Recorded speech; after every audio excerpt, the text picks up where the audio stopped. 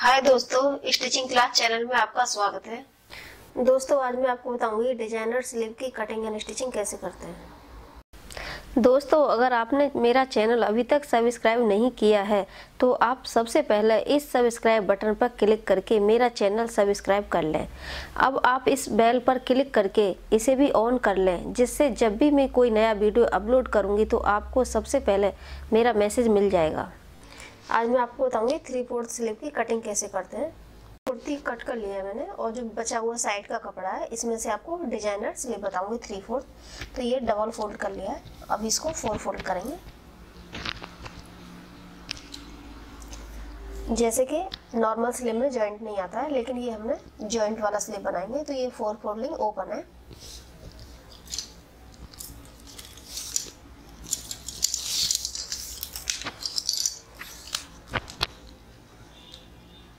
जैसे स्लीव की लंबाई है 17 इंच, हमने ये 18 इंच लिया है, वन इंच एक्स्ट्रा लिया है स्टिचिंग मार्जिन के लिए।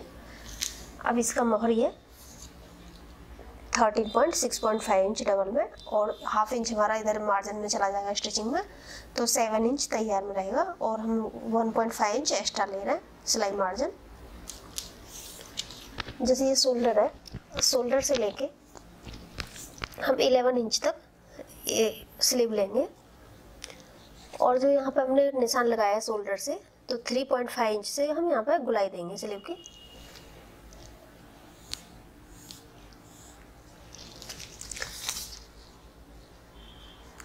जैसे हमने ये तैयार मार्जिन लिया है,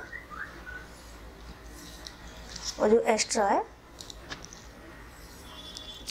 ये एक्स्ट्रा साइज़ है और ये करेक्ट साइज़ है। जैसे हम यहाँ ओपन है, यहाँ पर हम डिज़ाइन देंगे तो हमको यहाँ पर ये जो कॉर्नर है हमारा स्टिचिंग का यहाँ से हम इसमें गुलाई देंगे। जो यहाँ पर पॉइंट है यहाँ से हम टू इंच का इसमें गुलाई देंगे।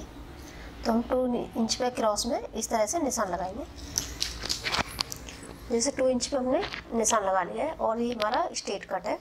तो यहाँ से हम जस्ट ऐसा गुलाई देते जाएँगे हाफ़ इंच का। इस तरह से।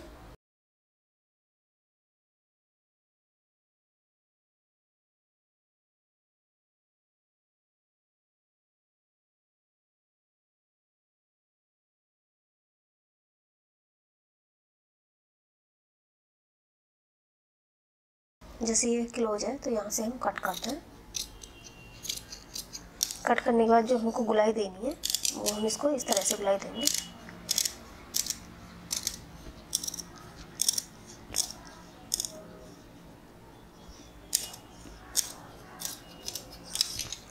ये गुलाई इस तरह से आएगी।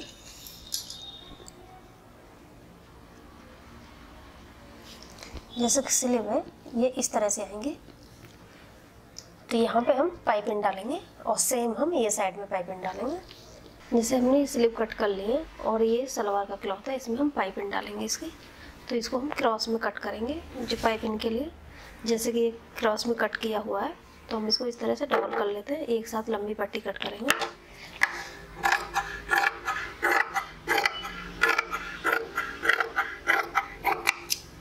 पट्टी कट कर लिए अब इसको जॉइंट करेंगे तो हम इस तरह से क्रॉस में जॉइंट करेंगे।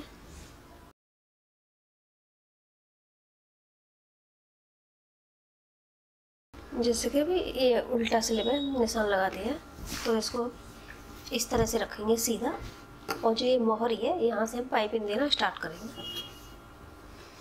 तो इसको हल्के से खींचना है, जो पाइपिंग लगा रहे हैं और नीचे का कपड़े को एकदम लूज छोड़ना है।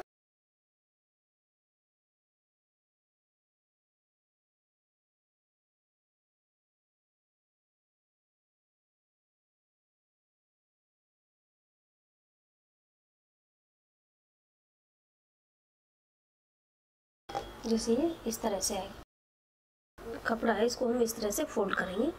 फोल्ड करने के बाद फिर इस तरह से यहाँ पर हम स्टिचिंग डालेंगे।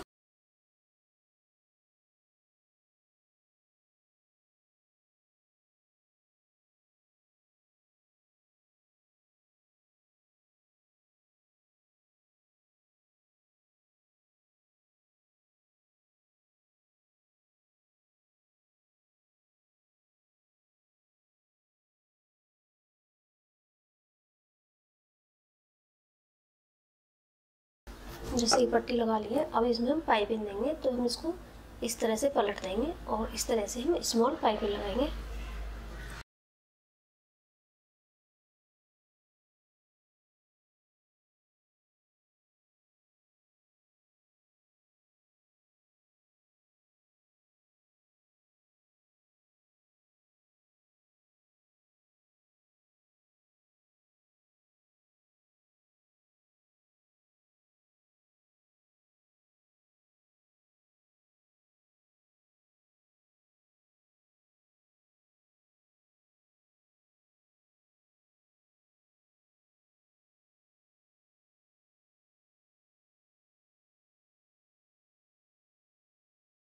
जैसे मैंने वन साइड के स्लिप में इस तरह से पाइपिंग दे दिया।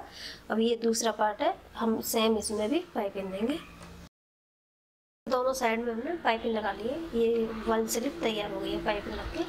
अभी इसको हम जो क्लोज है, इसको भी हम ओपन है, इसको क्लोज करेंगे। जैसे ये शोल्डर है, यहाँ से हम मेजर करेंगे। यहाँ से हम 13.5 इंच पर पॉइंट देंगे।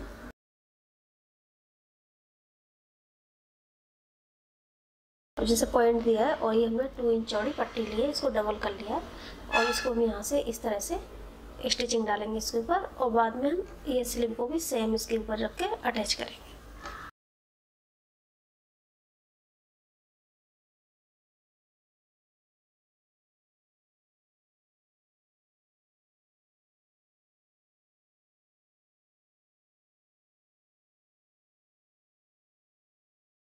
जैसे हमने वन साइड में ये पीस अटैच कर दिया है। अब दूसरा साइड भी शोल्डर से इस तरह से हम स्टिचिंग डालेंगे।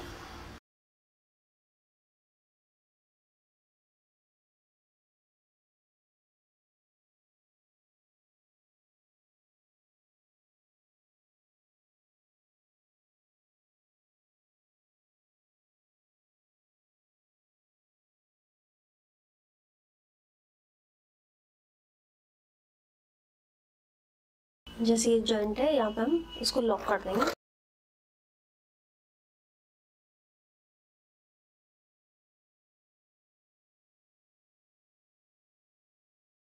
जैसे कि हमने इसको अटैच कर दिया है तो ये इस तरह से आएगा। जब हम पहनेंगे तो ये जो हमारा ऑरेंज क्लॉथ है अंदर से, वो इस तरह से दिखेगा।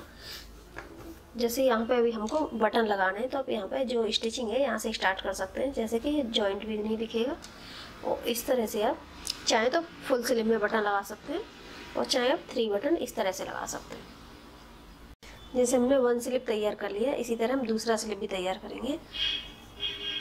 अभी जैसे इसकी फिटिंग देनी है आपको तो यहाँ से हमने जो पॉइंट दे दिए हैं, पहले निशान लगा दिया था जो सिलाई मार्जिन के साथ में तो उसी पॉइंट पर हम स्टिचिंग डालेंगे।